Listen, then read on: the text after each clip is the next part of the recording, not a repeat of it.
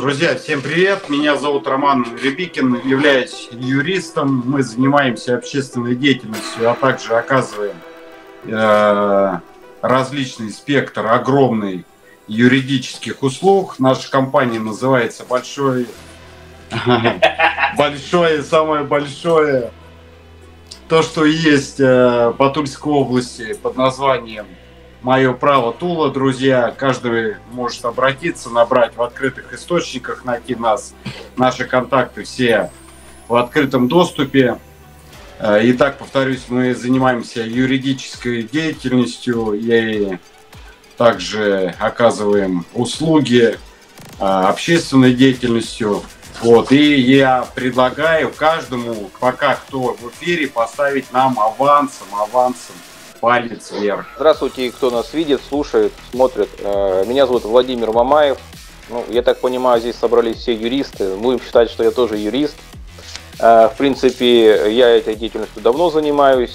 Но большой был перерыв, потому что работал по таким стандартным профессиям вот, э, занимался своим собственным бизнесом. На данный момент занимаюсь, скажем, бизнесом в сфере оказания юридических услуг.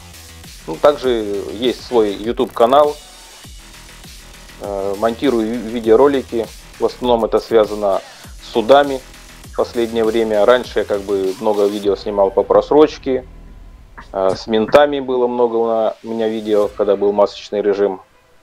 Ну вот, как бы коротко себе так.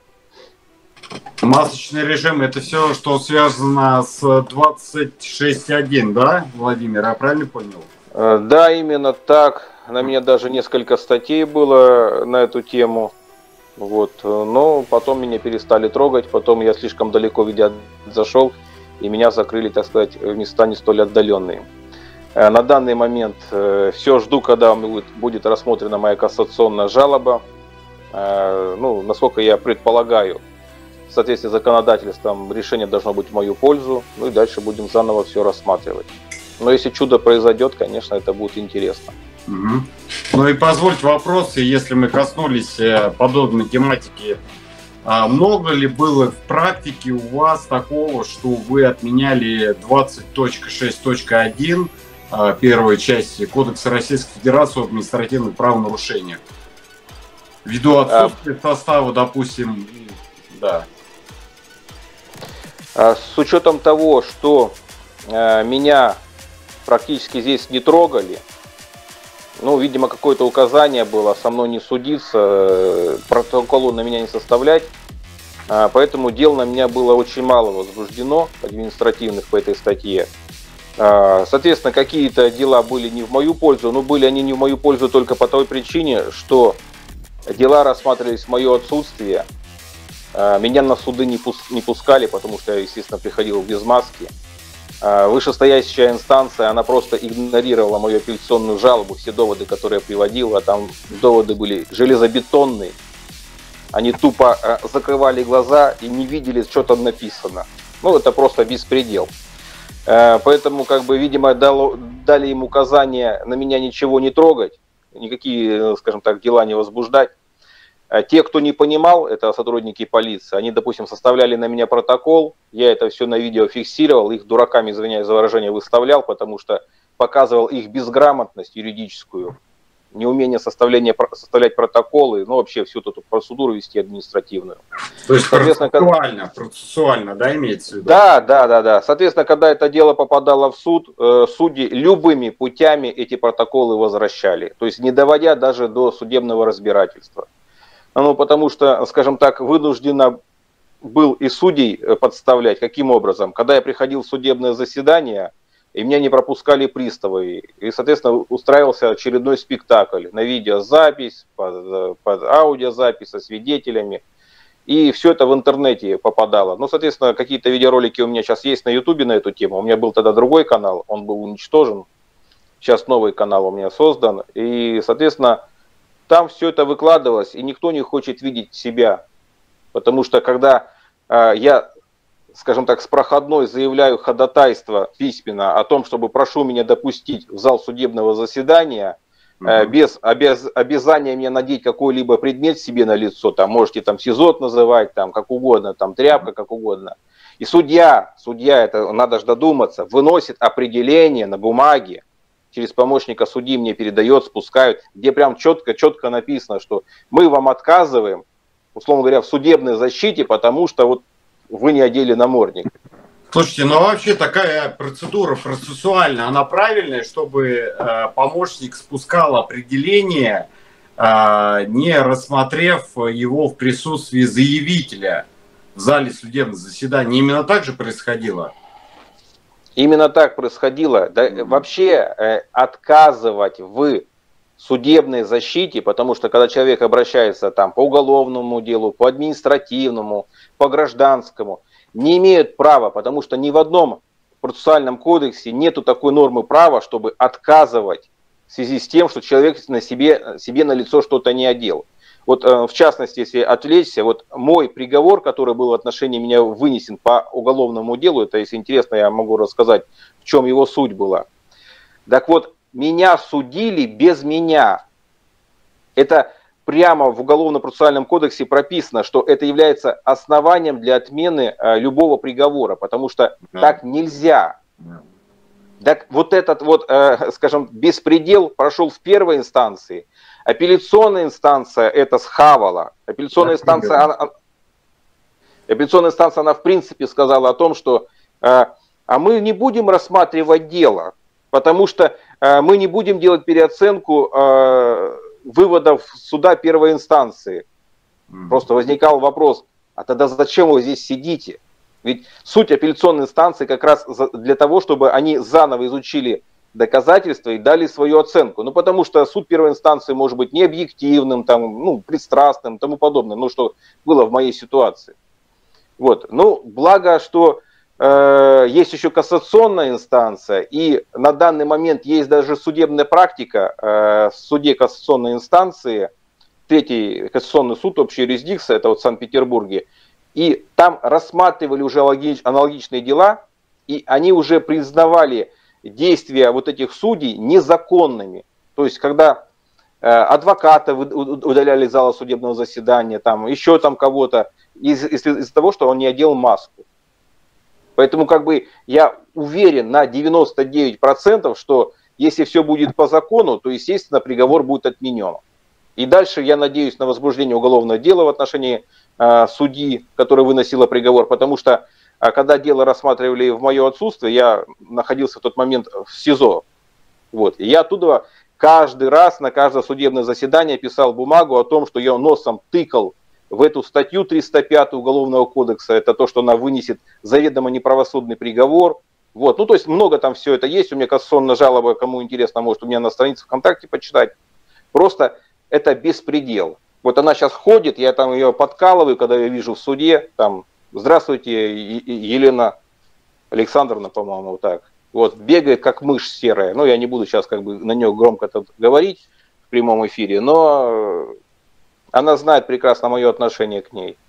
И я думаю, что я добьюсь то, что это будет один из, из, из немногих судей, который получит реальную уголовную статью и желательно лишение свободы. Потому что часть вторая по 305 статье Уголовного кодекса предусматривает ответственность уголовную от лишения свободы от 3 лет до 10 лет. Да, но еще один немалозначимый фактор, да, такой, это право на реабилитацию. Ну, это понятно. Ну, с учетом того, что я вижу, что в стране происходит, людей сажают вообще ни за что на пустом месте. То есть достаточно, чтобы кто-то что-то про кого-то сказал, выступил в качестве свидетеля, и это оказывается достаточно. Хотя я знаю, есть разъяснение Верховного суда о том, что если там кто-то кого-то обвиняет, этого недоста- недостаточно. Должна быть совокупность доказательств.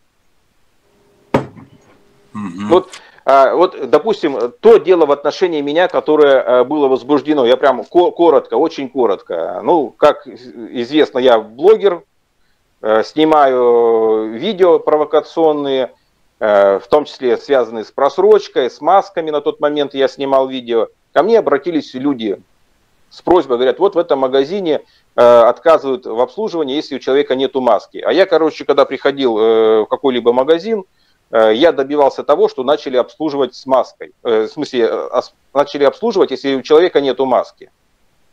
То есть через видеоролики, через скандалы, через вызов сотрудников полиции. Ну, то есть там кипиш такой хороший подымался. Между тем, это образовывает состав 14.8 Кодекса Российской Федерации административных правонарушений. Ну, всем плевать на эту статью, поэтому как бы все прикрывались то, что вот у нас коронавирус, бароновирус, и поэтому, как говорится, все права можно нарушать.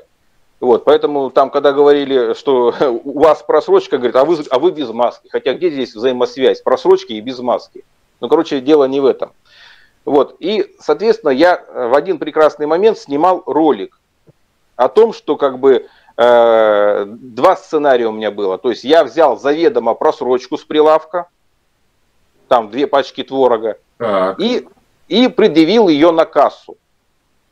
Вот. Дальше, э, значит, мне отказали пробить, потому что у меня нету маски. Ну, у меня на эту тему видео, по-моему, выложено на новом да, или канале. тряпочки еще такие предлагали, тряпочки без... Да, тряпочки, там все, все что угодно. Ну, смысл, смысл в том, что, соответственно, я им вот эту всю тираду объяснил, что как бы они нарушают. Ну, у меня уже было определенный инструмент, как себя вести, потому что а, объяснять э, дураку, что он дурак, бесполезно, как бы, ну, он все равно этого не признает. Поэтому я вел себя достаточно жестко а, во всех вот этих магазинах, как я до них доносил, что, как говорится, нужно брать с меня деньги. Просто я как? Я вызывал сотрудников полиции, приезжали сотрудники полиции, я хватал этот пакет мертвой хваткой, естественно, никто у меня его не отбирал, и увозили меня в отдел полиции. Ну а дальше я там писал заявление на сотрудников полиции, и они от греха подальше меня просто э, отпускали с продуктами. Получается, и состав что меня... при этом никакой не вменяли, да? Конечно, нет. Ну, так, э, ну, я дожидался сотрудников полиции, я все фиксировал, что у меня э, отказываются принять оплату. Я в магазине обслужился, я публичную оферту акцептовал. То есть, ну, я да. все готов, говорится. Дальше самоуправство кассира, который, э, ну, по своей какой-то своему видению решает не брать деньги. То есть, по сути, он совершает, э, скажем так, хищение имущества в виде денежных средств, потому что он должен доложить эти деньги из своего кармана, потому что он получается хищение в пользу третьих лиц, то есть в мою пользу совершает хищение, не, не беря деньги. Да. Но это, но это уже их проблема. Я предъявил на кассу товар, который был куплен другим человеком в другом магазине. Меня не было в, в торговом зале магазина. Это все было заснято на камеру, соответственно, магазин упичкан камерами, большой магазин «Окей». То есть весь магазин упичкан камерами, товар был предъявлен вообще разнобой, там и детская игрушка, машинка, и молочные продукты, и овощи, фрукты, что там еще было, и хлебобулочное. Сотрудник полиции пришел в магазин «Окей», они три часа смотрели эти видеозаписи по видеокамерам, естественно, они меня там не нашли, потому что меня не было в торговом зале. Ну, несмотря на это, они решили возбудить уголовное дело. Возбудили уголовное дело.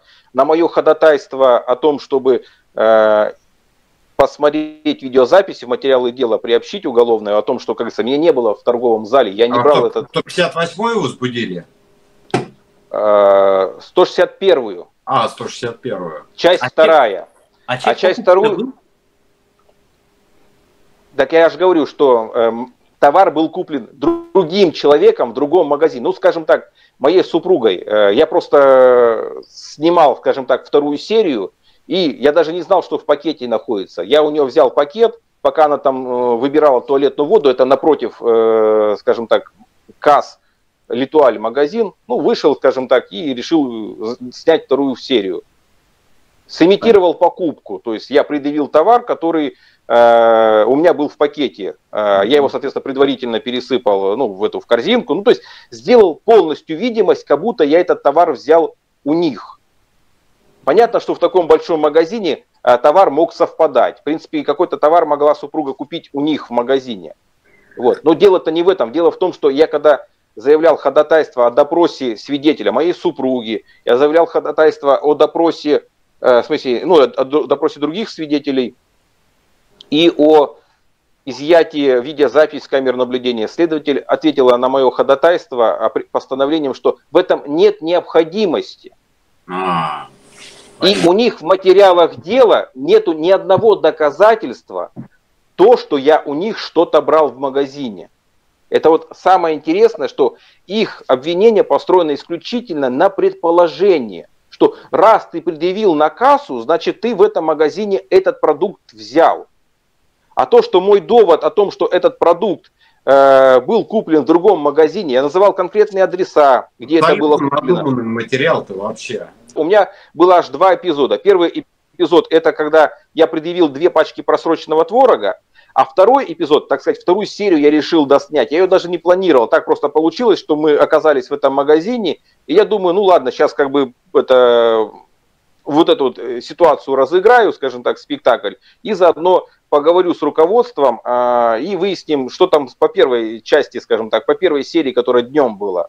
Вот, но до этого не дошло. На меня набросился охранник, Соответственно, я к нему никакой силы не применял, там никаких угроз не делал.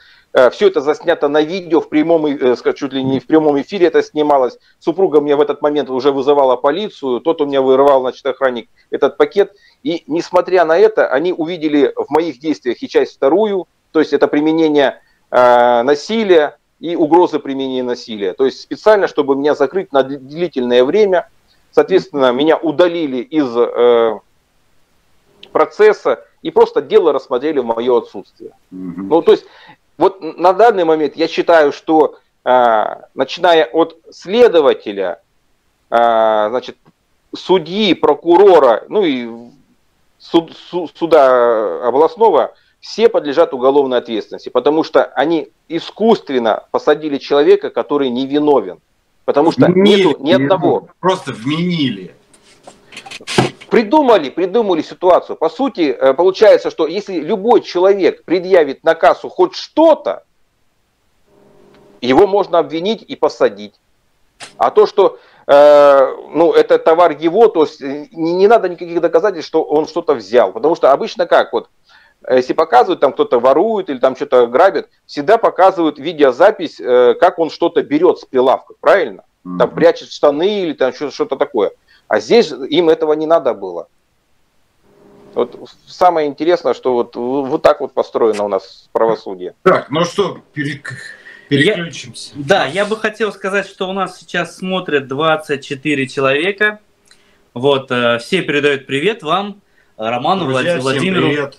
Вот, и я бы хотел, да, чтобы да, мы все же обсудили такую тему, как э, закон о защите прав потребителя и судебные э, проблемы.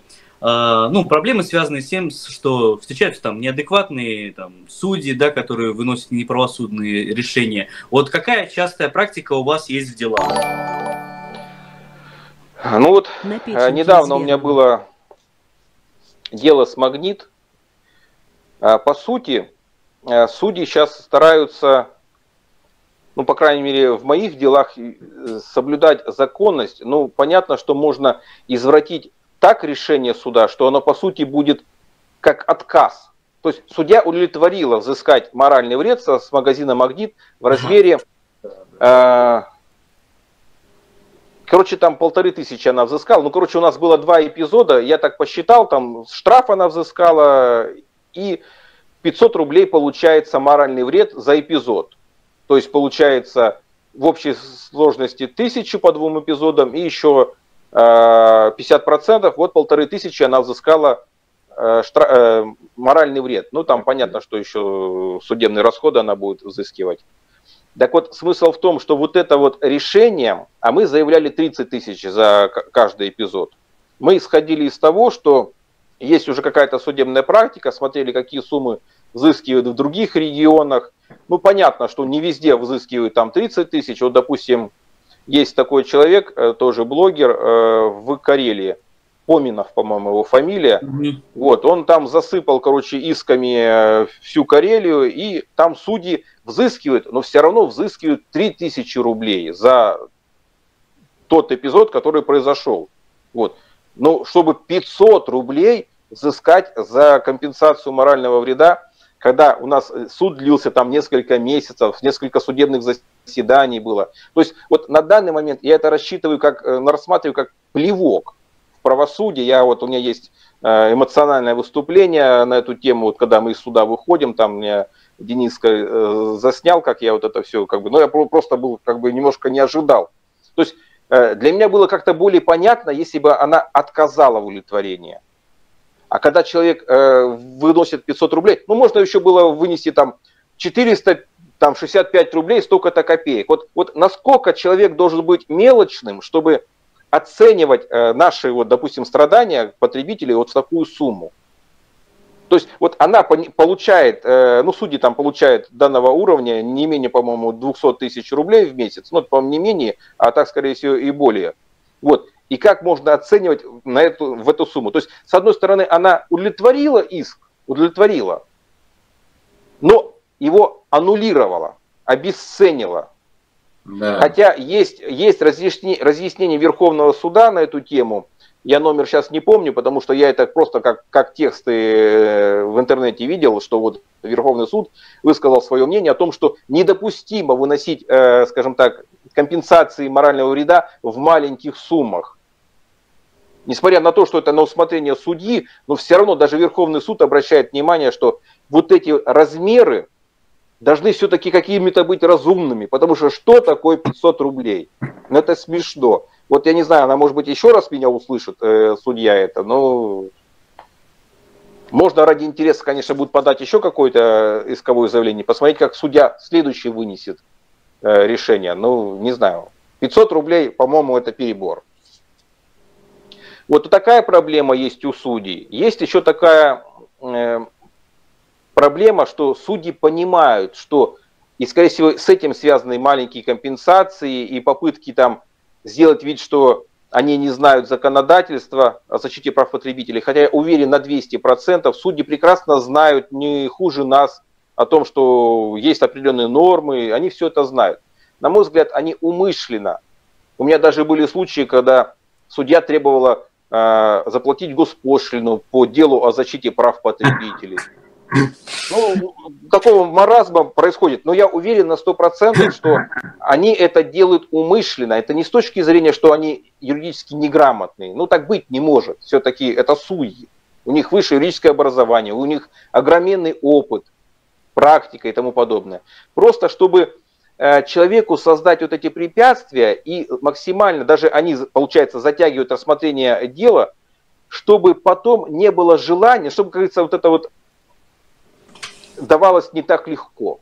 Потому что если завтра все ломанутся на нашем примере э, в суды и будут взыскивать там хотя бы, хотя бы по 5 тысяч за эпизод, да, вы представляете, что будет? И так сейчас суды перегружены. Понятно, это все понятно. У нас тоже, например, есть судебная практика. Например, расскажи про случай с метро. Насколько это все затягивается? Э, значит, э, был куплен ряд некачественного товара. Это город Калуга. Э, там в размере 30 тысяч рублей. Констовары. Да, констовары. Об этом писали, в принципе, новости в открытых э, источниках. Иск был подан в районный суд. Щекинский межрайонный суд, подчеркиваю, Тульской области. Э, не буду называть фамилию судьи. Э, а, Шемчук? А, Шемчук, да. Так вот, что она сделала? А, к слову сказать, это было неоднократно, в принципе, в нашей практике, но это один из крайних. Она вынесла определение о неподсудности ввиду того, что э, иск значит менее 50 тысяч рублей и подсудность э, таким, таким образом мирового судьи. Вот. Ну что же за этим последовало? Конечно же, частная жалоба сразу в суд апелляции, да, областной. Вот. Э, ну и, конечно, сразу же отмена полностью и возврат всех материалов на новое рассмотрение. Вот мне, как э, заявителю, который, в принципе, подавал эти иски, меня удивило то, что а, мы в этот суд одновременно подавали два судебных иска, один к ИП Будаевой, тоже по моралке, и один к Метро. И получается, дела попали к разным судьям, а суть исков одна и та же, то есть компенсация морального вреда. И один судья принял иск, назначил там нормально, значит, как собеседование, потом да, перешли да. к рассмотрению дела, а другой судья почему-то взяла и вот так вот, э, значит, отклонила иск, то есть одинаковые как бы основания. И мне кажется, что вот как э, Владимир сказал, что судьи какие-то вещи делают намеренно э, для того, чтобы затянуть процесс, вот, чтобы вот наказать. Тому же, да. Потому что вот эта вот Ведь вся ситуация привела к тому, понятно понятно, ведь э, согласитесь, согласитесь, да, вот Владимир юрист, я думаю, многие, которые нас смотрят, что а, произошла такая ситуация. Реализатор, да, продавец товара вернул потребителю денежные средства за купленный некачественный товар. И тут возникает основание взыскания морального вреда. Это самостоятельное требование. Соответственно, подсудность это районного суда. Тогда как районный суд начинает толковать к мировой мадите. Все это затягивается на длительное время, таким образом не разрешается, к производству не принимается, происходят больше еще траты, допустим, почтовые расходы. Да, распечатка. Вот, такое ощущение, жалобы. что действительно возникает вот э, э, то ли в силу занятости, то ли в силу э, неохоты вот этой э, заниматься, э, скажем, их судебной волокиты, я не знаю, как они могут это толковать, но тем не менее доходит до, ну, за пределами добра и зла. В итоге, получается, одно дело у нас уже успели рассмотреть, вынести заочное решение, э, ответчик, ответчик, ответчик его отменил, назначили новое заседание, а то дело, оно еще даже в суд не, не, принят, не принято, не принято производству да. после отмены. Три месяца мы ждем, пока оно там вот эти все круги ада пройдет. Вот. А, давайте я вам вот пример приведу. Вчера у меня было судебное заседание. Но тоже беспредел. Э, первое судебное заседание, на котором мы присутствуем по этому делу, там э, иск Совкомбанк к моему доверителю, и мы подали встречный иск. Там э, взыскание долга по кредитному договору в размере 49 тысяч, ну около 50 тысяч рублей. И э, мы подали встречный иск, чтобы э, договор признать незаключенным и применить последствия ничтожной сделки. Угу. Так вот, самое интересное, что произошло вчера в судебном заседании. Я подал два ходатайства.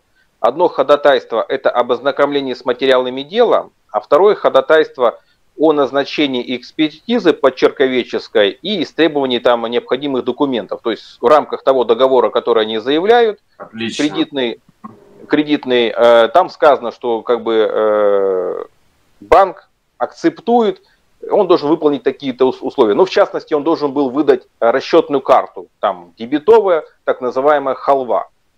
Вот, соответственно, в материалах дела ничего этого нету. Соответственно, в принципе, суд, если бы мы не настаивали на истребовании этих доказательств, должен был вынести решение в нашу пользу, потому что а, сторона, а именно истец, не доказал свои требования. То есть, ну да, предположим, даже если этот, э, эта оферта, заявление, анкета, там, индивидуальные условия подписаны, предположим, моим доверителем, даже если предположить, то это не означает, что кредит был фактически выдан, то есть что был договор акцептован, что была выдана карточка, а суд обязан выносить решение на основании имеющихся в деле доказательств. Соответственно, если этого нету, он обязан отказать. Другого варианта просто нету.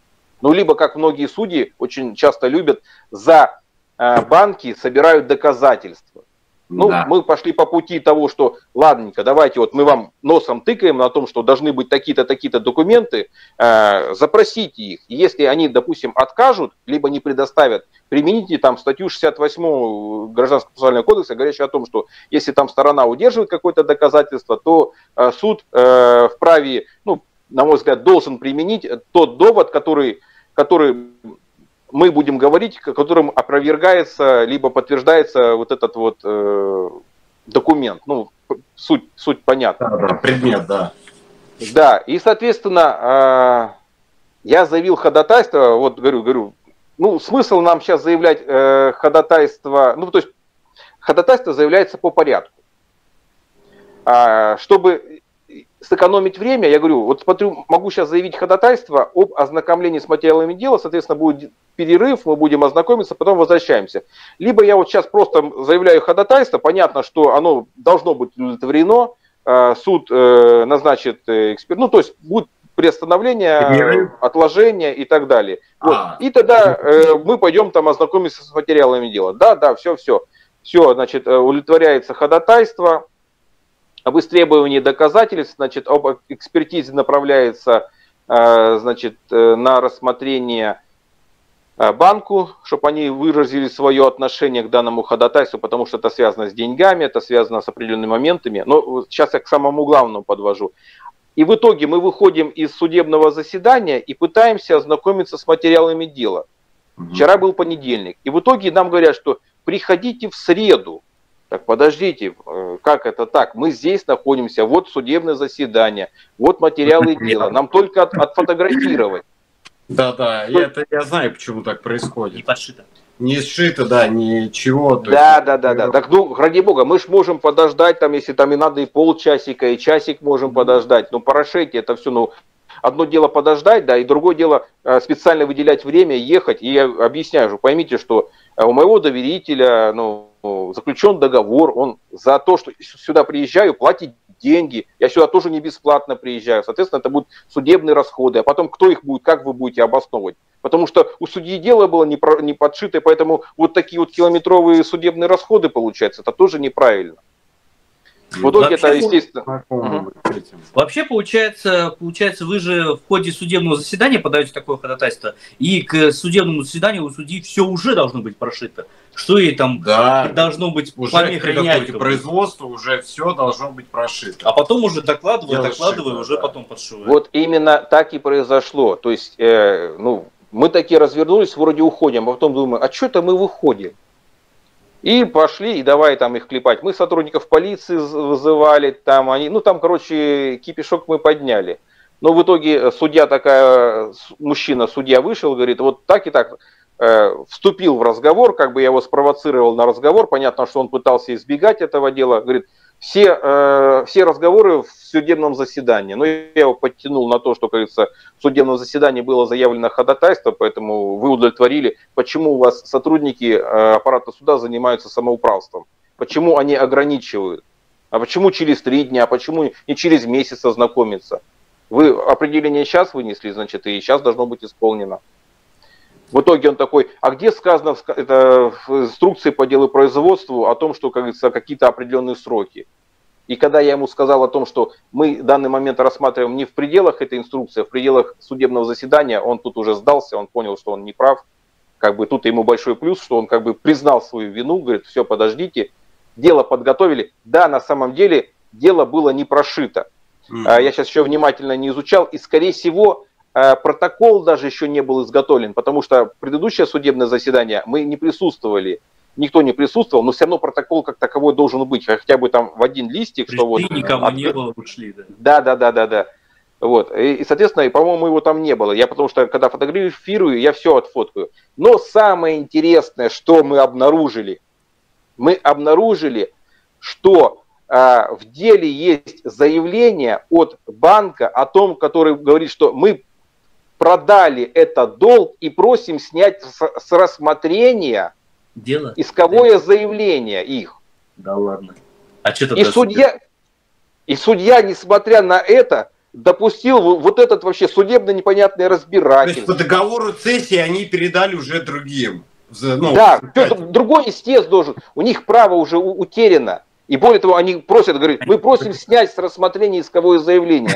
А судья при, при наличии этих документов раз, разрешает вопрос о назначении по, по, по черковической экспертизы, об истребовании доказательств. Вообще, что это такое происходит? Какой кошмар. А... Производство должно быть, быть прекращено. По Конечно. Судья выходит, Здесь... говорит, все, конец. Здесь замена ИСА в принципе невозможна. Как это? Ну, если новый истец, э, правоприемник захочет подать иск, он это сделает самостоятельно. Самостоятельно, конечно.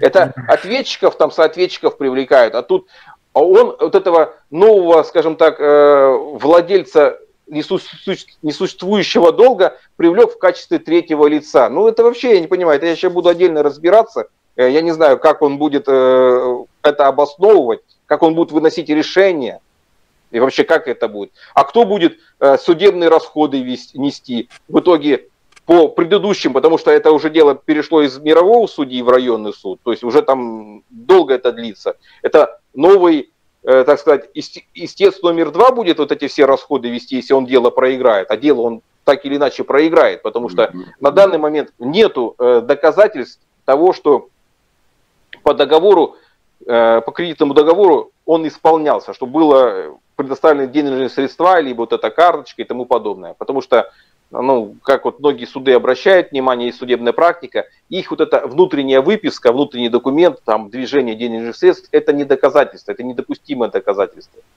Должны быть конкретные первичные бухгалтерские документы. Если выдаются деньги, да, то выдается банковский, банковский ордер, в котором человек расписывается, что он получил эти деньги. Если выдается кредитная карта, соответственно, он расписывается за получение этой карты. Тоже это документально оформляется за подписью стороны договора.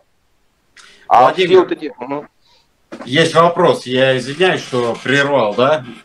А, а как вам такое, что э, при обжаловании э, судебного акта суда первой инстанции, ну, подав апелляционную жалобу, через несколько дней ты получаешь решение суда с отметкой вступления в законную силу. Как такое может быть? И вот я сегодня позвонил а, в приемную Борисовой, передаю привет, если э, кто-то смотрит из Советского районного суда города Тула меня. Я вот звонил, говорю, вот я как профессиональный юрист хочу понять, что мне делать с этим судебным актом? Может быть, мне его председателю направить? Может быть, мне его в рамку поставить или на папирусную бумагу э, его в туалет, использовать. В туалет То есть что с ним делать? Я говорю, я правильно понимаю, ну, со мной разговаривает помощник судьи или секретарь, да, на том, на, то, на том проводе. На том проводе, да. Ну вот. Я говорю, вы как юрист, э, я говорю, я правильно понимаю, что он не может быть юридически сильным, поскольку поступила апелляционная жалоба в сроке, она зарегистрирована, причем информация наличествует на сайте суда, что подана апелляционная жалоба истцом, но при этом я получаю судебный акт с отметкой о вступлении в законную силу. А на самом сайте тоже вывешено было, что нет, нет, нет, нет, на сайте не было.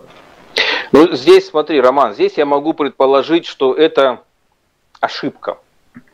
Это непреднамеренная ошибка, которую можно э, спихнуть на работников аппарата суда. То есть, ну вот как бы не заметили наличие апелляционной жалобы. Ну, то есть здесь можно, скажем так, списать, ну, под дурачка закосить. А вот я тебе приведу другой пример. Вот, буквально недавно из нашей практики.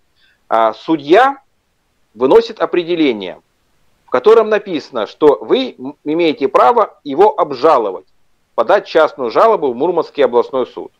Это как раз связано с э, госпошлиной, по-моему. Ну, короче, вот, э, вот, вот такое вот определение.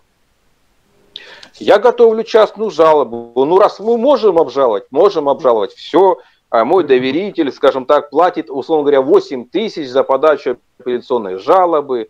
Все это в судебные расходы будет положено все мы об этом говорим, судьи, что вот, говорится, вы тут сами раздуваете на пустом месте судебные расходы, потому что, ну, вашу никчемную, никчемное определение э, мы обжалуем, и вышестоящий суд однозначно от, отменит, потому что там беспредел. И в итоге что делает, что происходит дальше? Э, вот эта судья, которая вынесла э, вот это определение, вдруг уходит в отпуск. Ну, совпадение, либо так вот на самом деле У меня было. Э, ушла в отпуск и кратковременно заменяет ее другой судья. Это и сам? что делает, что делает эта судья? Эта судья берет и выносит свое определение, в котором она пишет, что пишет, что вот это определение, которое до этого было вынесено, на которое мы подали частную жалобу, не подлежит обжалованию. Ох! и, возвращает, и возвращает нам обратно частную жалобу. Это что? Я, я, я судье говорю, вы, вы, вы понимаете, что это, это, присво... это присвоение полномочий э, судьи областного. Конечно. Это, конечно. это вообще она что не такое? имела права никакого. То есть она как вышестоящая инстанция конечно. Э, стала рассматривать. Даже если э, то определение не подлежит обжалованию, но там написано, что на обжалуется, вышестоящий суд должен был на это указать и вынести свое определение. Но никак не судья этого же уровня. Конечно. Так вот, я к чему это говорю, что вот этот вот бардак, вот этот бардак, это не с точки зрения, что она не знает законы. Я уверен на сто процентов, что и первоначальный судья знал, что, когда, что он выносит заведомо неправосудное определение. Я уверен в этом. Я уверен, что э, второй судья, выгораживая того судью и подставляя в конечном итоге себя, знал, что он выносит заведомо неправосудное второе определение. А почему это все происходит? Потому что безнаказанность.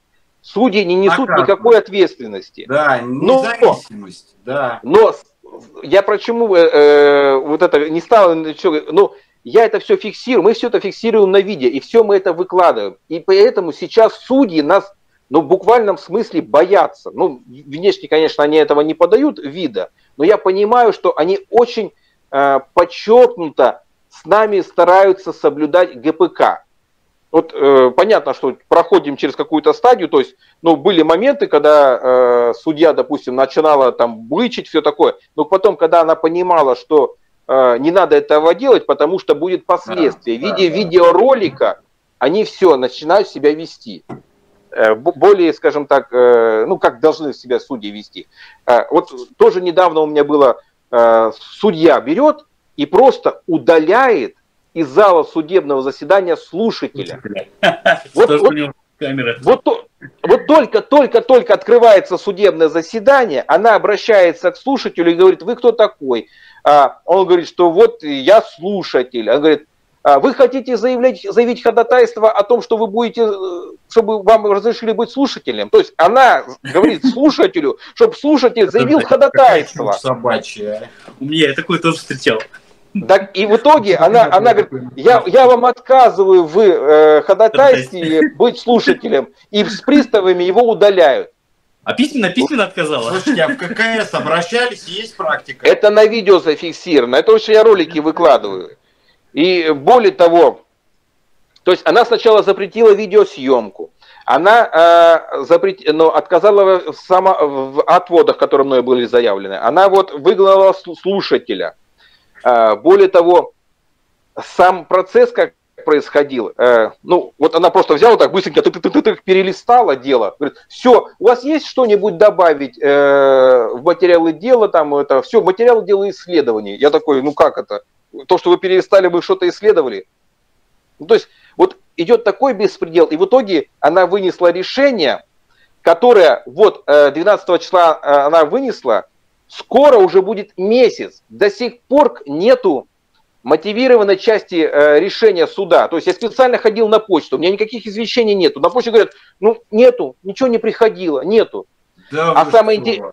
Да, а самое интересное, когда вот а, она выгнала слушателя, когда вот она все без видеосъемки провела, а, ну, у меня ведется аудиозапись э, при этом, несмотря, а, значит, э, все, она объявляет решение, опять приходит этот слушатель, и она его уже на оглашении решения говорит, я, вас, я же вас удалила из зала судебного заседания. И повторно его с приставами удаляют. Даже на оглашение.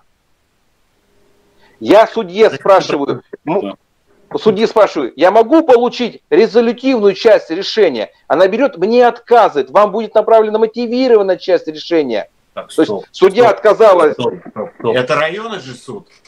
Да, да, да. Вот а. Если она этот видео, видео посмотрит, она должна понять, что насколько она вела себя некорректно, э, с юридической точки зрения неграмотно. Но вообще, на мой взгляд, в ее действиях усматриваются признаки именно э, уголовного правонарушения, ну, преступления в данном случае. Почему? Потому что, ну, просто взять, удалить слушателя, отказать в выдаче решения суда, неважно какого, результативно, мотивированно, если я участвую в судебном Смотрите, заседании. Валерий, просто э, в районном суде э, резолютивку суд не выдает, только мировой. Они не выдают резолютивную часть решения. Это по а... гражданскому процессуальному кодексу Российской Федерации. А, Она а Роман, а, а, а, а давай тогда сделаем так. А какой нормой права это оговорено, что мировой судья выдает э, мотивированное решение, в смысле результативное решение, а районный суд не выдает, если я прошу? Вот не готов сейчас ответить. Не, ну есть, статья, есть статья 214, насколько я помню, а, где сказано, не, мировой судья может разрешить дело, вынеся только результативную часть решения. А мотивированный он выносит, если есть заявление от стороны. Да, да, но это разные вещи. Но решение в любом случае выдается э, лицам, участвующим в судебном заседании, а также направляется по почте. Почтовой связью, да. Да, но там нету разбивки, какое конкретное решение, результативное, там, полное, то есть мотивированное, нету разбивки. То есть в любом случае, если я изъявил желание, вот, ну, извиняюсь за выражение, у меня есть основания подозревать, что она изменит это решение. У нас такое же было с Оби. Ну, я, в принципе, сути. понимаю, о чем он говорит. Я солидарен. Тем не менее, просто я сказал, исходя из своей практики, что результативку у нас районный суд не выдает, а только ее оглашает, а мировой суд может его выдать на руки. То есть вот так. Не, ну практика э, конкретных судов и гражданский процессуальный кодекс это разные вещи. А, разные вещи. Нет, ну, ну вот хорошо, вот, вот такой момент, вот такой момент тоже я обратил внимание. Когда ни одна из сторон не является в судебное заседание, судьи пишут, в связи с неявкой э, сторон аудиопрокаталирование не ведется согласно статье 228. Да давайте откроем эту статью, где-то вообще об этом в чем-то ну, говорится. Ведется, ведется, конечно, протокол. Так в каждом, в каждом э, протоколе, э, я который читаю, там написано, э, согласно статье 2228, в связи с неявкой сторон, аудиопрокаталирование не ведется. Но это вообще что происходит, блин? Я, я захожу, говорю, ну, я все люблю перепроверять. Я открываю статью 228, на которую они ссылаются, в связи с чем это протокол, аудиопротоколирование не ведется. Когда оно должно быть в обязательном порядке. Я в этой статье вообще ничего не вижу. Наоборот, там сказано, что в любых случаях оно ведется. Вот, и это происходит во всех судах, по крайней мере, э, в тех, в которых судах я участвовал в городе Мурманске, я всегда вижу эту тупую формулировку.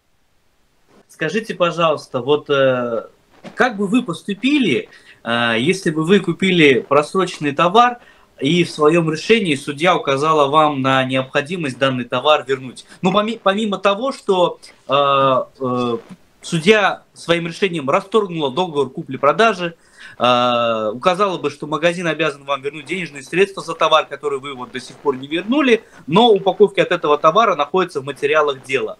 Вам бы взыскали пени, штраф, моралку, юридические расходы, но вот судья пишет, типа, верни, верни булочку. Вот что бы вы на этот счет сделали? Угу. Максим, а давай я как бы отвечая на твои вопросы, э, задавать буду тебе, э, ну, отвечая на твой вопрос, задам тебе другой вопрос. Давайте. Вот скажи, пожалуйста, а вот с чего ты вдруг решил, что судья расторгла договор? Она в своем решении это указала. Хорошо. Товар, а... товар, не был, товар не был вернут магазину и был подан иск в мировой суд как раз э, с требованием расторгнуть договор купли-продажи, вернуть деньги за товар, за который вот, э, ну, не вернул магазин. При этом оппонент не заявлял о том, чтобы этот товар ему вернуть. В своих возражениях. Да. То есть она а... самостоятельно отошла от неких правил. Это мы про 79-й судебный участок говорим. Ну, про это в общем, я в целом говорю, просто сам Я понял. А законодательство о защите прав потребителей, оно, оно позволяет в одностороннем порядке расторгнуть договор? В односто... Позволяет. Позволяет, если будет уплачена сумма за оказанную работу. Но в данном случае у нас получается не работа, а товар, да? Да. Да, угу. просто товар. Ну, вот в одностороннем порядке отказаться от договора купли-продажи возможно? Но если товар некачественный. Ну, понятно, что некачественный, да. В одностороннем порядке. Ну вот я отказываюсь. Нет, ну то есть он имеет в виду, наверное, до покупки ты, ты мог отказаться. После Нет, я, я, я имею в виду после покупки. Ну вот э, да хоть после вообще, покупки. Можно. Вообще через суд, через суд расторгают, расторгают э, договор, когда не допускается одностороннее расторжение договора. Когда по соглашению стороны не пришли, э, не пришли. к согласию расторгнуть договор, тогда обращается заинтересованная сторона в суд, это в суд и ну, так и расторгает. Его претензионный порядок не был удовлетворен. Ввиду этого он обратился в суд с Я написал претензию до Какой претензионный порядок? Э, претензионный порядок он... Я в магазине в книге отзывов написал, что требую э, расторгнуть договор купли-продажи по данному чеку, вернуть мне деньги за некачественный да товар. Бы не был. А они ответили, что мы провели работу с сотрудниками.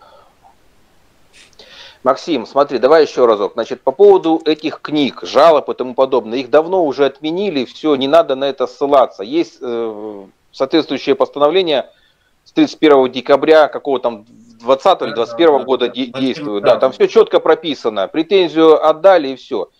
Я сейчас немножечко про другое говорю. Зачем в суде требовать расторжения договора, если ты вправе его расторгнуть в одностороннем порядке? Что такое в одностороннем порядке? Ты просто ставишь в известность, все, договор расторгнут.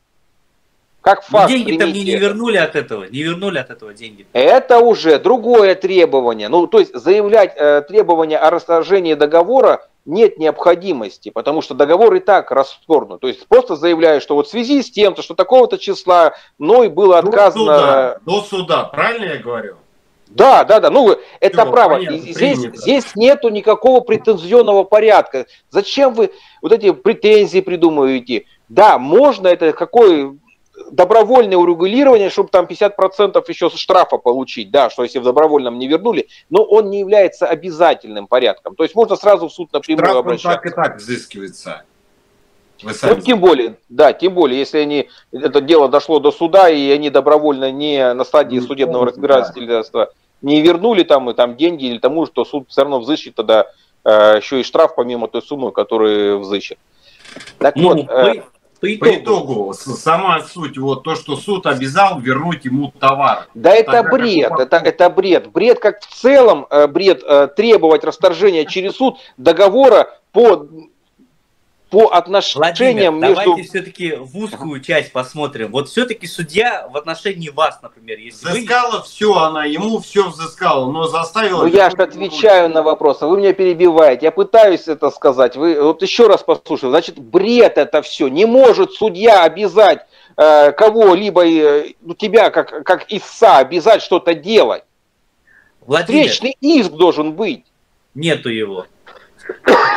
И даже в возражениях требования такого нету. Но вот вас, вас, вот судья обязан, что вы будете в дальнейшем делать? Просто обжаловать? В смысле, что я буду делать? Я не буду ничего делать. Я, ну, я не знаю, ну, я не хочу выражаться, но я факт покажу, да и все. Я плюю на такие решения судов. Когда мне судья в, это, в открытую говорит, сделайте то-то, я не делаю этого, потому что судья не имеет права это делать. Вот этот, вот этот бредятину, которую ты говоришь, ну да, можно потроллить, как я тебе написал, можно там вот это... 59 79 судебного участка, послушай, Целый пожалуйста. контент можно сделать, там, судье, эти этикетки, там, вот, ну, вот это можно потроллить, да, чисто для этого. Но с точки зрения юридической, это бредятина. Да. Я, послушай, Максиму, я обращаюсь в суд, требую от ответчика что-то, а судья берет, выносит решение, по которому я ответчику что-то должен. Но да, это бред.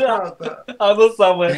При этом взыскивая в полном объеме все по закону защиты прав потребителей. Так вот, я ну, тебе отвечаю, я тебе тогда тебе ответил, что ну это бред. Вот это судьи, вот вопрос нужно задать. Вообще, вот как это можно обжаловать? Да просто не надо это исполнять. Как она будет выдавать исполнительный лист? Как это будет исполняться. Нет, Она... Не, я тоже думал, как это будет исполняться. Это вообще дурдом, что он отдал эти ручки, будет переписывать новую маркировку. Хорошо, следующий, следующий вопрос от меня. А, что делать, если покупатель, скажем так, намеренно приобретает просрочку и в ходе судебного заседания об этом как бы ну, не отрицает, говорит об этом, и судья ему в исковых требованиях полностью отказывает ввиду того, что он намеренно купил просрок. Да, да, именно так и происходит, э, что человек, который намеренно, то есть который хочет обратиться в суд, он намеренно покупает просрочку. Иначе не доказать. Не доказать иначе. Потому что, чтобы доказать, что ты в этом магазине купил просрочку, ты должен это зафиксировать на видео, либо со свидетелями и тому подобное. Ну, если ты это не сделаешь в процессе покупки, да, то как ты это потом в суде будешь доказывать? Да они будут говорить все, что угодно. И говорят. И говорят. Так вот, а, то, что человек, вот моя точка зрения, то, что человек умышленно покупал просрочку, это как раз и доказывает то, что он нравственно понес какие-то страдания. Почему? Потому что он, осознавая, что он покупает просрочку, осознавая, что он тратит свои деньги, осознавая, что он тратит свое время, желая наказать магазин за продажу просрочки. Естественно, желая. Гражданская он, позиция. Да, он пошел на все это, на трату своего времени, на трату своих денежных средств, на сбор доказательств неопровержимых с помощью видео, фото, там, чека и тому подобное. Трат конечно же, средств.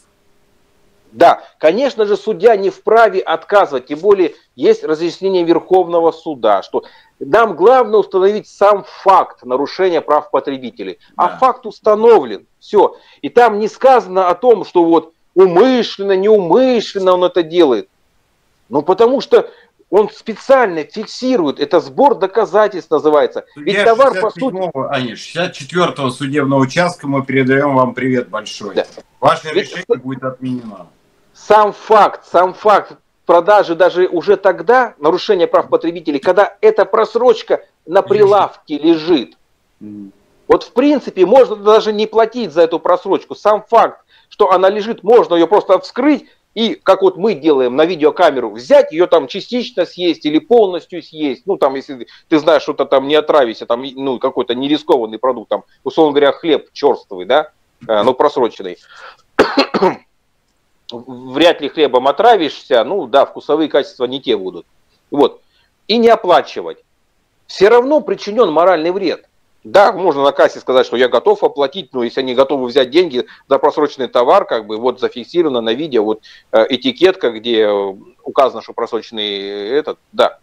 То есть не обязательно оплачивать. И нарушение, оно состоит не с момента продажи, покупки, а с момента реализации, выставления на реализацию. То есть оферта, то есть предложение заключить договор. То есть на моем месте мог быть другой человек, ребенок, э, там 14 лет, ему разрешено делать вот эти мелкие э, сделки, да, там вот купли-продажи, э, розничные вот эти купли-продажи. Ну, он в силу своей неграмотности, там вот это, он просто может, э, ну, не проверять. И мы вообще не должны каждый раз приходить в магазин и проверять сроки. Это обязанность работников магазина.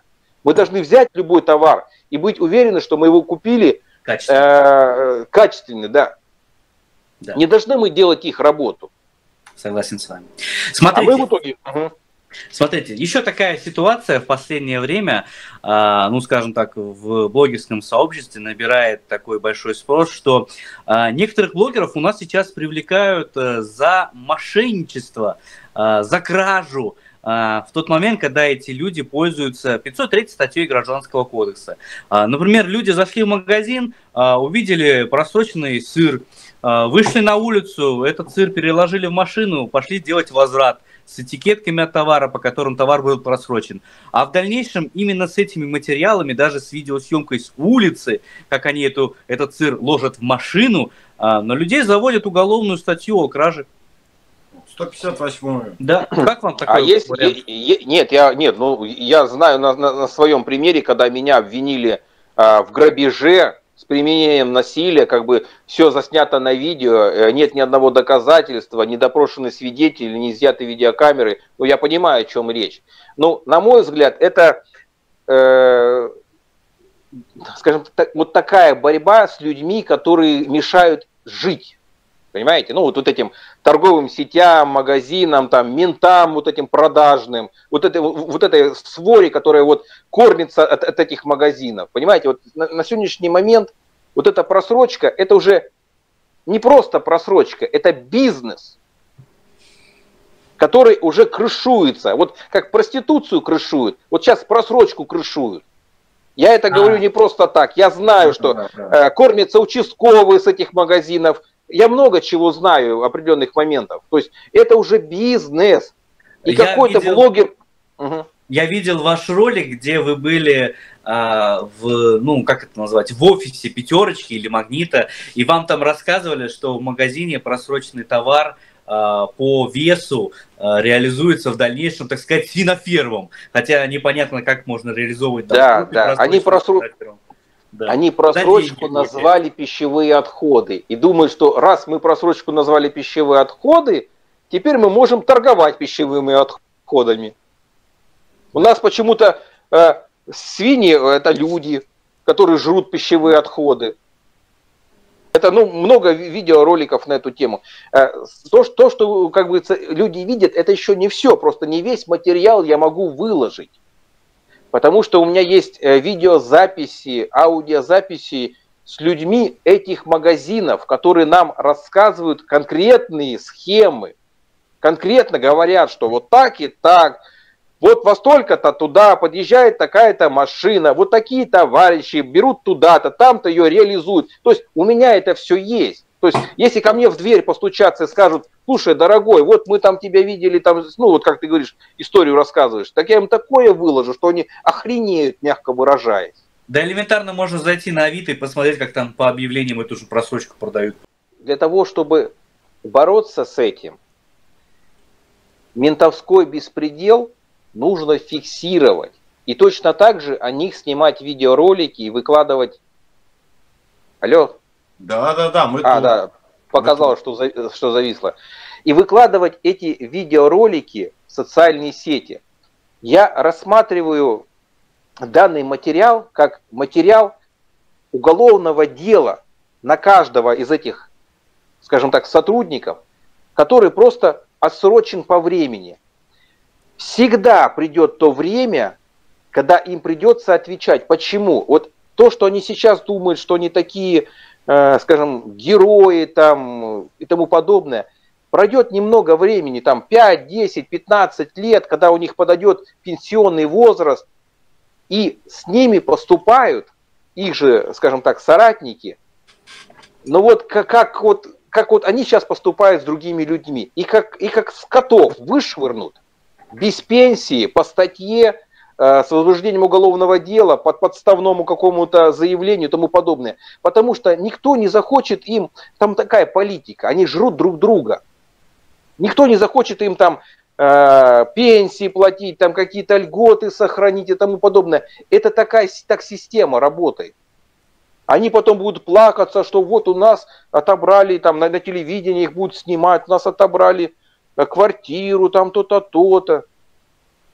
Я когда смотрю вот этих товарищей, я думаю, да это вас, вас Бог накарал.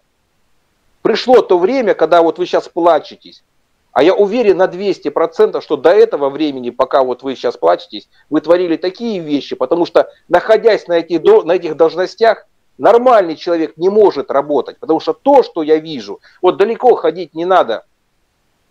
Менты до такой степени вот хочется матом ругаться, охерели просто, предоставляют в суд видеозаписи с дозоров, где они устраивают пытку человеку. Просто, я, я, я не понимаю, это что у человека должно быть в мозгах, чтобы, вот, хочется ругнуться, что, сука, они не боятся ничего. Ничего не боятся. Они привозят человека из больницы, попавшего в ДТП, он в наручниках за спиной лежит лицом это, на асфальте. Один ему становится на ноги, другой задирает э, ему ну, в суставах эти руки. Он орет там, блядь, э, матом просто, говорит. Убивают там, ну там, ну, вообще, это, это надо лучше один раз увидеть. Ладно, первый эпизод. Зачем-то они это взяли в суд, предоставили. Мозгов нету, тупые. Второй, второй фрагмент, то есть здесь превышение полномочий, просто стопроцентное превышение полномочий. Я не знаю, они еще работают или нет, их должны не просто уволить, а посадить. Это первый момент. Второй момент, доставили человека, они засала, садят его в клетку, ну, для задержанных за решетку, в наручниках. Вот хочу ругаться, позвольте, я буду ругаться все-таки, потому что, блядь, вы охуели в наручниках человека, да ты обязан сразу же снять с него наручники. Человек, который после ДТП, который теряет сознание там каждые пять минут и тому подобное. Ладно, через полчаса, через полчаса снимает наручники. Но не для того, чтобы ему сделать комфортно, а для того, чтобы провести процедуру административную отстранения транспортного средства, да. составление там протокола, там печенье. уже внутри, внутри в этом. Да, да, да. А транспортного, он прям там, там прям сидит в наручниках, рулит прям в клетке в этой, понимаешь? Отстраняет он его, ну. Просто полный, я не знаю. Ладно. Я называю это правовое насилие, просто реально. Так это не правовое насилие. Правовое Роман, насилие. давай я, давай я расскажу. И что происходит? Они же это все снимают. Они снимают это все на дозоры. И, короче, они его начинают в чувство переводить, там вот так вот, ну, блин, ну, очнись, как бы, ну, как бы не притворяйся, ты же живой, как бы, мы же не с трупом составляем материал. Короче, они там его приводят в чувство. И там грубо, на, на видео, там за лицо его берут, дергают вот это все. Он просто рукой отмахивает это все, и э, выключается дозор, они его там, извиняюсь за выражение, херачат, и потом... Херачат, в буквальном смысле херачат. Где-то в районе 4 минут. Выходит из камеры и заново включает дозоры, и как будто они такие заходят. Но он уже лежит в наручниках, опять в камере, в наручниках. Ни за что отхерачили, одели наручники, и заходят, и типа начинают опять вторую серию снимать, заново снимать, как они составляют административный материал. Он там, блядь, рыдает, сука, слышишь меня, рыдает стонет, задыхается, блядь. И это все заснято. Угу. Прячет лицо в угол стены, блядь, потому что его пиздили только что минуту назад, понимаешь? И вот они вот это предоставляют судебное заседание. А в суде потом в рапорте пишут, дозор кратковременно выключался, блядь, вот, вот когда пиздили... Тема, да, да, когда... Да, когда, вот именно когда пиздили, тогда, тогда отключался. Не с патруль видео нету, был поврежден и так далее. А тут даже... А еще вот вопрос, как вы считаете, да, э, все-таки вот судьи, судьи, федеральные, мировые и так далее, а, больше на стороне должностных лиц полиции? Естественно. Естественно. Рука руку. Тут, тут даже, даже не может быть обсуждений, потому что... Законы и действия должностных лиц полиции постоянно. Это постоянно явствует из каждого процесса. Вы представляете, я допрашиваю, ну, то есть должностное лицо, он в качестве свидетеля, у нас КУАП РФ, да, вот. А судья отвечает на поставленные вопросы. Это судья под фамилией Ковальчук. Центральный районный суд города Тулы. Судья Ковальчук, тебе привет, я передаю. Я до сих пор не забуду про твой беспредел. Давно на пенсию пора. Жаль, а, нет вот, нету времени добраться до ККС, а потом ВКС. А, Роман, вот я перебью тебя сразу. Пожалуйста, фиксируйте все вот эти вот, э, всех вот этих судей, фиксируйте, выкладывайте их в интернет. И возьмите какого, не надо всех прям, возьмите какую-то конкретную цель и посадите эту, эту судью. Посадите. Вот я взял конкретную цель. Вот у меня сейчас судья Белозерская. Я знаю, что-то она отслеживает мои видео, она еще раз здесь, она знает, что я буду идти до последнего. Я не успокоюсь, не успокоюсь, пока она не сядет в тюрьму. Она Именно не получит реальный срок. Да, районный суд, федеральный судья. А ну, которая вынесла приговор мне, вынесла приговор. Она лишила меня на год и 8 месяцев свободы по пустому надуманному делу. Реальный срок. То есть, ну, в принципе, там, ну, не говоря о том, что ну, людям там 8 лет дают условно, там все что угодно. То есть у меня двое детей, там, ну, то есть все вот эти, то есть, ну, ну это просто, ну, просто я сейчас не хочу ругаться, потому что это, ну, не, это, не, не будет правильно. Но у меня очень негативные, э, скажем так, чувства к этому человеку. Вот я далеко ходить не буду. Она же настолько была заинтересована, что даже когда я находился в СИЗО, она обрывала трубки телефона. Это уже с начальниками, которыми я разговаривал там в СИЗО, там, потому что я их там тоже доставал свои писанины и тому подобное. Вот, они говорили, слушай, что она от нас хочет? Она просто названивала, интересовалась, как я там, что я там, э, какое, да, какое здоровье. Я уже просто начал угорать над этим. Я пишу председателю заявление. Просто. Пишу, пишу председателю это заявление. Прошу разрешить свидание Белозерской, судье вот это, со мной. Ну просто разрешите свидание. Ну чего она так все интересуется? Ну давайте, может, мы встретимся уже где-нибудь на, на нейтральной территории, там, я не знаю, пообщаемся. А какая цель-то была этому всему? Так она его засудила. Вот да, так какая цель была? Потому что меня пытались сломать. Вообще вот эта система э, построена на принципе обвинить того человека, который даже абсолютно не виновен. Потому что человека сажают в такие условия и на не, начинают на него давить прессинг. И он уже готов признать вину, лишь бы, блядь, выйти из этой ситуации. На все готовы. И говорю, вплоть до того, что человек невиновный э, подпишет, признается в том, в чего он не совершал. Причем даже у него будет стопроцентное алиби, и судьи будут рассматривать это дело и проигнорируют это алиби. Просто проигнорируют. То есть вот у меня, я с людьми же много общался, с которыми там э, находился. Э, ну, такие истории рассказывали, просто жесть. Просто вплоть до того, что есть видеозапись, на которой нету этого человека. Этот человек, есть документы, подтверждающие, что он находился в другом городе, но его обвиняют в э, совершении уголовного дела, ну, преступления. Потому что он где-то проявил слабость и подписал чистосердечное признание, так сказать. Слабость. Но оно противоречит, противоречит материалам дела. Человека тупо не было даже там. То есть он не мог этого совершить. Но судьи выносят приговор. Его сажают, приговор отменяют. То есть он 4 года в СИЗО находится. 4 года в СИЗО. Да, тюрьма, крытая. И да, ну как, вот в камерах четыре стены и все, выходит, выходит там погулять, там те же самые четыре, стены, только без крыши.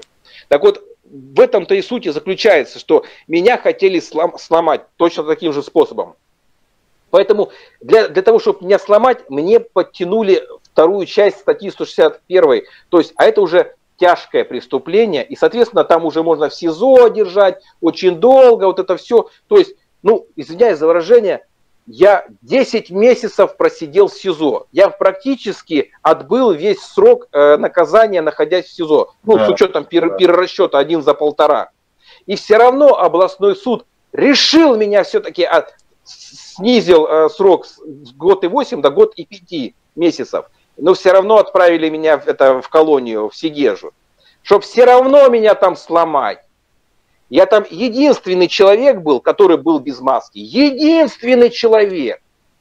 На меня приходили все, кто там в этой в этом э, колонии работал, чтобы просто посмотреть, блядь, так это как, это что такое бывает, что ли? Вот ходили, как, блядь, как на зоопарк, э, а, и спрашивали, а почему ты это намордник не носишь? Я, и, и их поражал мой ответ, блядь, не хочу. Блядь, почему не ходят? Да, говорю, блядь, не хочу, и все, блядь. Блять, они смотрят на меня как, как дебилы, понимаешь, разворачиваются и уходят. Потом другой приходит, блядь. Да. А почему ты без наборника? Блядь, не хочу. Вот, вот эта вот система. Ну, понятно, что я там начал уже в какой-то степени борзеть с точки зрения э, нарушения режима. Почему? Потому что я понимал, что мне там уже там, условно говоря, через две недели выходить, потому что у меня срок уже заканчивался. И ну, я вел себя совсем по-другому. А там же людей ломают именно психически и морально. То есть вот там запрещено ходить, там должны все бегать. Вот стадо лысых сайгаков бежит, представляешь, да? Ну, я, естественно, я что, больной, что этим заниматься. Но меня они понимали, что с меня ничего меня взять, меня через два недели выпускать, Говорит, ну ты хотя бы в сторонку отходи, не мешайте им баранам бежать, понимаешь? Ну, это может быть неправильно баранам бежать, потому что там кому-то 7 лет сидеть, ему приходится в эту систему как-то да, ну, да. вникать, потому что вот, ну, со стороны, конечно, я понимаю, что если бы у меня там десятка была, может быть, и мне нужно было либо там застрелиться, либо там кого-нибудь застрелить, ну, либо бежать с айгаком этим самым, понимаешь? Это унижение человеческого достоинства. Там вот у одного человека кровь пошла из носа, и он все равно ему заставляет одеть эту маску. И вот этот парень, молодой, там, 20-летний, он эту маску одевает, короче, его потом э, увезли, там, он там сознание начал терять. Ну, маску одевает, понимаешь? Нет, чтобы сказать, да идите вы нахер со своей маской, блядь. Понимаешь? Так вот, э, э, и вот они там э, этот график есть, который вот, э, и вот они, блядь, стоят, тут этот, блядь, чистый асфальт, блядь, метут, понимаешь, создают видимость, вот метут, метут, метут.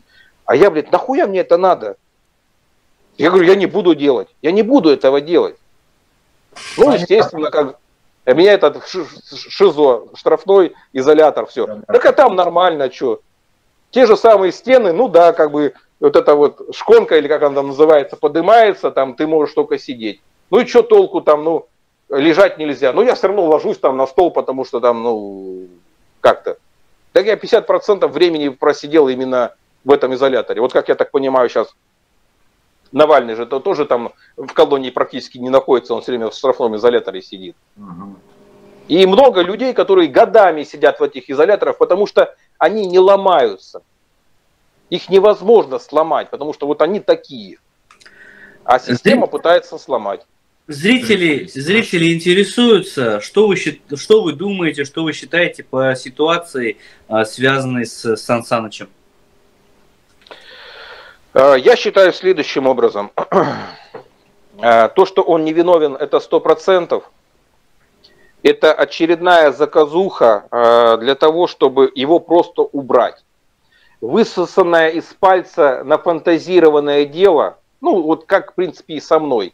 Вот в принципе, вот он и я это копия той ситуации, только у него э, другую статью применили, у меня там 161 применили, у него применили вымогательство. Но надуманная там ситуация и надуманная у меня ситуация.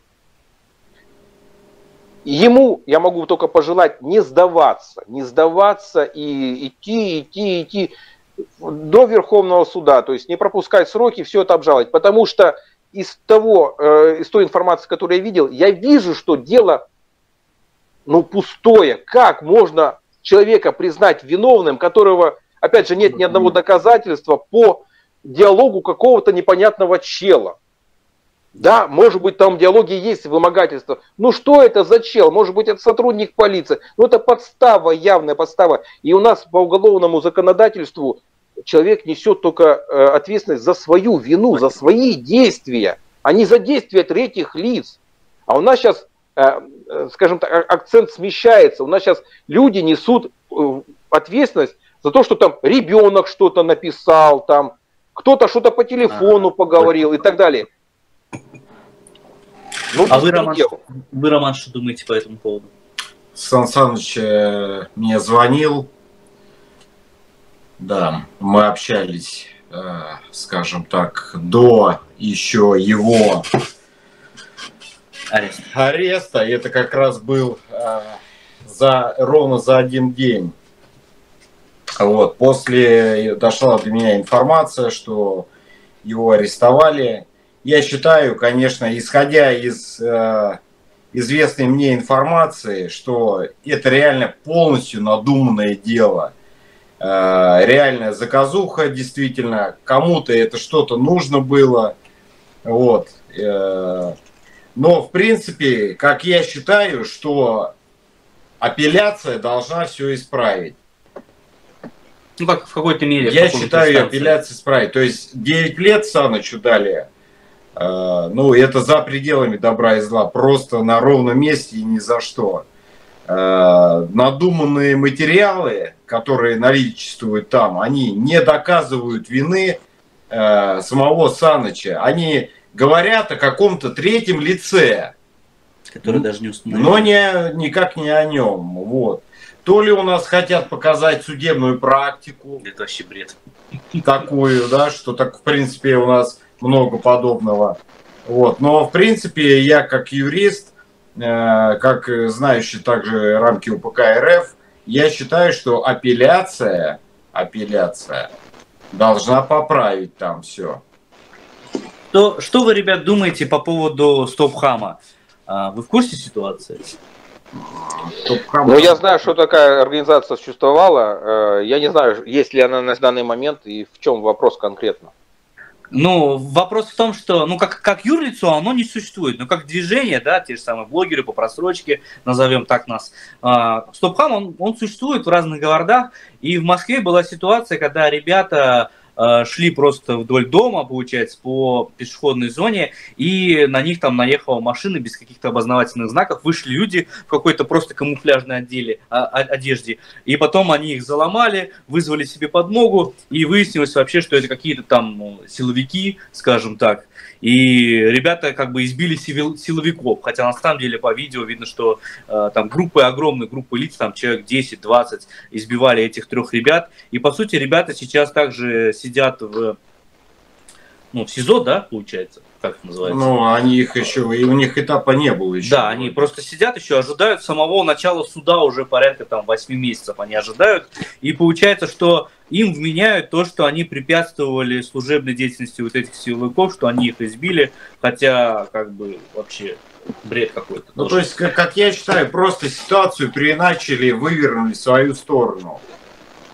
Просто переначали ее. Ну, здесь надо, здесь имеет юридическое значение именно знали ли вот эти стопхамовцы, что это сотрудники э, ну, правоохранительных органов. Вот это важно. Ну, когда человек говорит, что я там полицейский, но при этом у него ни формы, ничего, он ни удостоверения не показывает, не представляется, можно ли считать, что, как бы, что это полицейский? Хорошо, другой вопрос. А в связи с чем там драка, нельзя было уйти от драки, как, почему она произошла? Потому что машина начала на них наезжать, они попросили их не двигаться по э, пешеходной зоне, а те вышли и начали конфликтовать. Вот, а это оказалось должностные лица. Да. Ну, на самом деле здесь очень такая ситуация, в которой нужно разбираться. Почему? Потому что вот Ну, я понял. В принципе, вы просто не в курсе данной ситуации. Роман, вы... Я, я, я, я не в курсе, да, этой ситуации, потому Она что, ну, спорная. конкретно Она надо смотреть. Ситуация. Спорная? А в чем спорность-то? А в том, что как реально подтверждается, скажем, их невиновность а в чем виновность? То есть там они шли с фиксацией, правильно? Ехал да. автомобиль, это да. по запрещенному участку дороги, по тротуару, да. как я полагаю. Да. Вот, э, по... Они указали на то, что это недопустимо. Да. А в результате оказалось это должностные лица полиции, да, как я ну, понимаю. Без формы, без ничего. Да, без, без формы, не представившись ничего. Вот. Э, необходимо смотреть материалы дела. Есть ли такие доказательства, когда именно их диалога и в чем был конфликт. Кто первый начал применение физической силы, кто представился, кто не представился. И как бы э, есть ли вообще такое в материалах дела? Понятно. Смотрите, у нас осталось минут 20 до завершения. Я, как, опять же, как вот участник вот судебных процессов, как простой потребитель, хотел бы у вас спросить, насколько важно, чтобы человек обращался к юристам? Вот в каких случаях это очень важно? А, я, вот у меня на, это, на эту тему есть свое мнение. Я считаю, что каждый из нас должен быть юристом, хорошим юристом, очень хорошим юристом. Каждый из нас, он обязан. Я понимаю, что э, пока ты молод, пока нету знания, опыта, этого нету. Но когда тебе, извиняюсь за выражение, 30 лет, там, 40 лет, и ты до сих пор не знаешь законодательства своей страны, в которой ты живешь, до сих пор не имеешь оп опыт, практику и тому подобное, это непростительно. Я знаю второй момент, что никто за тебя ничего не сделает. Почему? Потому что, да потому что ты не нужен никому. Максимум, что нужно, это твои деньги, все. Если ты готов платить деньги, большие деньги платить за знания и умения, ну приготовься. Но это не гарантирует тебя, э, скажем так, э, ну что, если у тебя есть деньги, то ты будешь там выигрывать дела и тому подобное. Потому что, повторюсь, лучше тебя не сделает никто. Это вот первый момент. Но если вдруг так произошло, что ты ноль, скажем так, в каком-то вопросе, конечно, а, нужно своевременно обращаться к специалистам. Своевременно. Потому что исправлять всегда сложнее, чем предотвратить что-то. Очень многие люди обращаются, вот у меня завтра судебное заседание, вот, пожалуйста, вот у меня буквально есть так, сейчас так, так, такое обращение, вот, любые деньги, вот чтобы мои права у меня водительские не отобрали. Ну, я говорю, ну, ну сбрасывайте материалы дела. Хрен, что это буквально за один день до судебного заседания. Но я начинаю читать, я вижу, что он дает объяснения при, признательные. Я, ну, я все это вижу. Ну, я, ну, а что вы хотите? Да. Стойки 12.26 какой-нибудь или 12.8, да? Потому что я всем говорю, вот, вот, вот мне достаточно много лет. За свою жизнь я не встречал ни одного человека, который умеет пользоваться 51 статьей Конституции. Ни одного человека. Вот многие знают, да что там такого, вот, ну там, ты имеешь право не свидетельствовать против себя и своих близких родственников. Ну, что, сложного, да?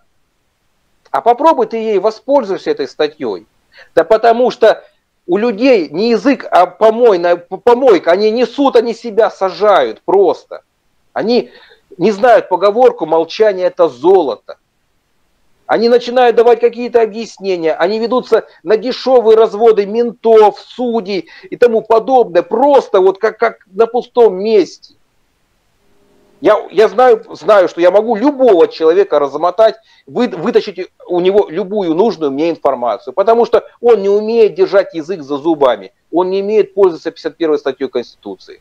Поэтому я когда говорю, что вот самый лучший совет, самый дорогой, какой я могу вам посоветовать, пользуйтесь 51 статьей Конституции. Но я знаю, что это в 99 случаях не сработает, потому что это в одно ухо вылетело, влетело, а другое вылетело. Вот, вот это, это практика. Это проблемы потом. Я вот человеку могу объяснять с матами, с, с истерикой, там, разными путями, и спокойно, вот это все рассказываю, все примеры приводить, все-все. Он, да, да, да, все понял, все понял.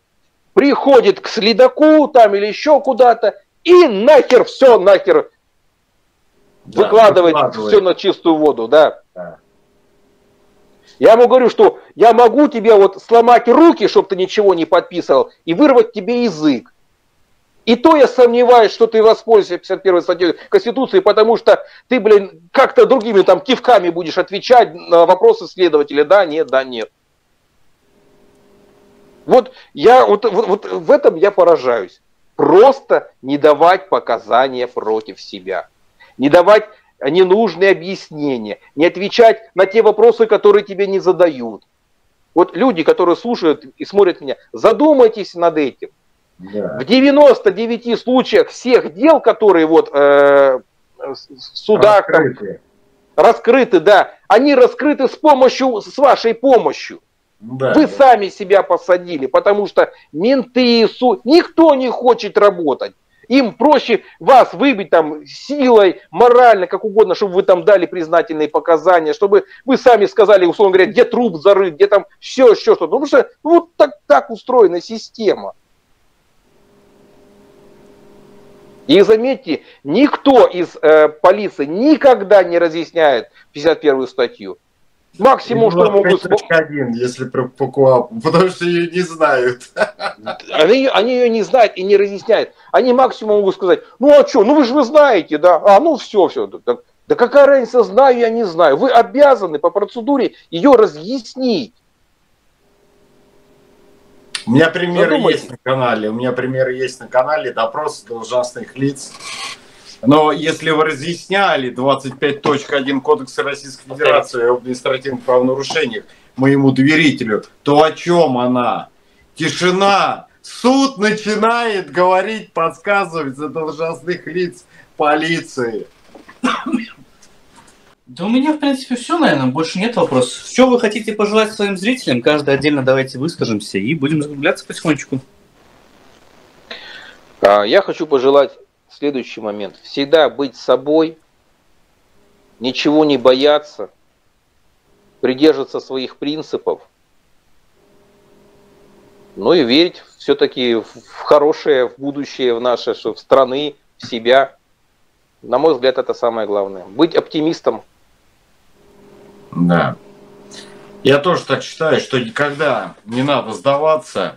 Я всегда иду до последнего всегда до последнего, как бы там ни было, не сдаюсь. То есть я не пытаюсь э, чтобы меня сломали или поджали по ту или иную систему какую-то. Да, это занимает э, много времени, ночи, э, изучения также. Мы постоянно, каждодневно учим право, натыкаемся на такое, что ну, это невозможно было ранее изучить. Это каждый из юристов меня поймет. Вот. Э, держать язык за зубами, если что-то где-то ты прав, а тебя обвиняют в чем-то, или ты наоборот не прав. И, друзья, давайте договоримся, что не надо звонить мне на стадии, когда уже составили материал. Вы позвоните, когда только хотят поставить точку в протоколе. Позвоните в любое время дня и ночи. Меня зовут Роман Рябикин.